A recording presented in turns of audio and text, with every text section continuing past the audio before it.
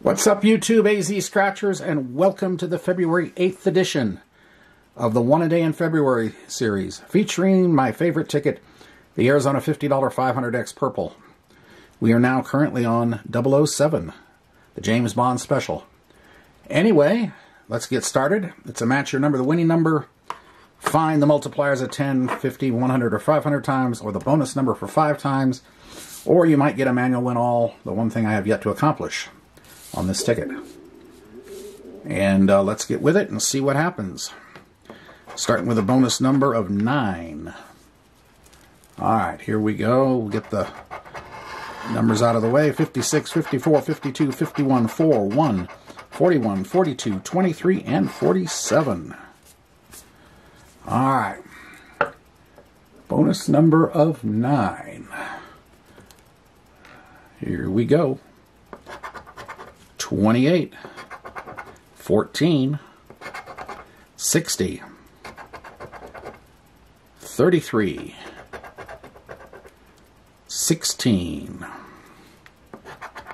35, 21, randoms 32,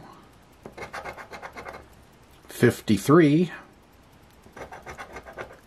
CJ 7, number 2, 31, 27, 26, 15, nope, 38, 20,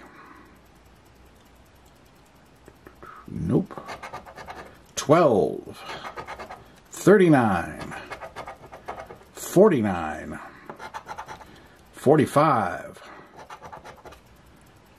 8, 25, 37, 57, 29, 24, 58, double nickels 55, 34, 13, 48, number 6, 30, and 17 in the corner, so that's another one.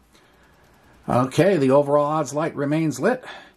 And tune in tomorrow. And so we get this is this, believe me, this ticket does not usually go more than three or four between wins on rule as a rule. Not guaranteed, but as a rule.